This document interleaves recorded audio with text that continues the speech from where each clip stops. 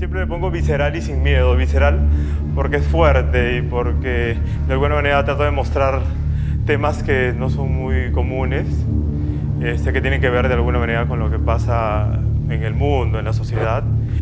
Y siempre ligado al tema de la Biblia, me gustaba mucho ver los dibujos de la Biblia cuando era niño, porque me llamaba mucho la atención estos personajes este, históricos que tienen que ver con la religión y con todo ese tipo de rituales que realizaban. Y una de las grandes influencias fue mi madre en el tema de lo que era la moda, porque modista, y mi papá en el dibujo.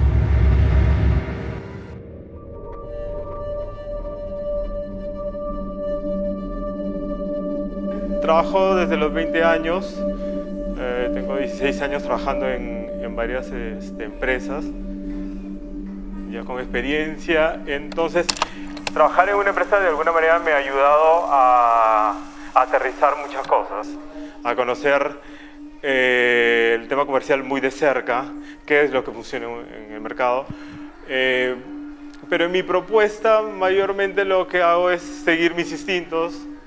Eh, de alguna manera mi onda es mucho más conceptual, entonces no busco tampoco un, un éxito así súper arrollador en ventas, ni, sea, no, estoy interesado en eso. De alguna manera lo que busco mostrar es una, una, una actitud, este, una historia, o de algún sentimiento, algo que tengo, que, que, tengo no sé, que, me llama la atención.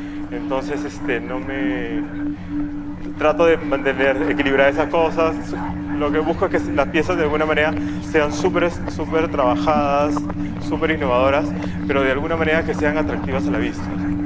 O sea, que se pueden ser muy conceptuales y todo, pero eh, visualmente pues, tiene que ser muy atractivo.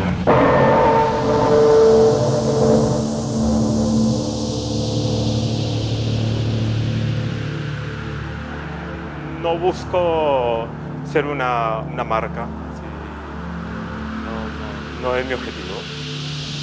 Eh, lo que busco es, como diseñador, que es lo que siempre he pensado, es este, desarrollar una línea que sea alternativa a lo que puedes ver en distintas marcas, que no sea de tendencia, que tenga mm, eh, una personalidad diferente, que, que te dure con el tiempo, que sea súper atemporal y que, y que no...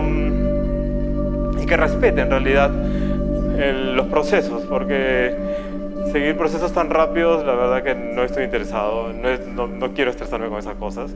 Quiero desarrollar piezas que sean súper este, creativas, súper este, bien trabajadas, bien acabadas y tener la tranquilidad como para, para seguir creando colecciones sobre colecciones y, y crear de alguna manera como una historia o diferentes historias, nada más. Perfecto,